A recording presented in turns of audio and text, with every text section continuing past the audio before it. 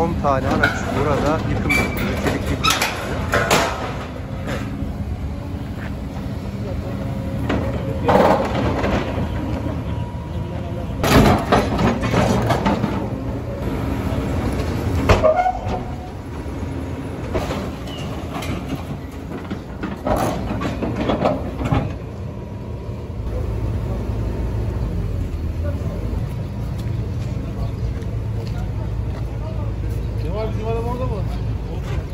Hadi gelin işe.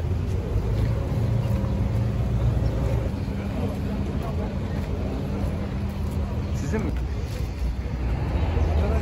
Niye acaba böyle kaçak yapılar yapılırken önce görevini yapmıyor? Biz bu memlekette her bir her şey var. Onlarca araç anında içerideydi. Belediyesi burada. Yani yıkım sırasında araçlar içerideydi. En azından bunlar dışarı alınamaz mıydı?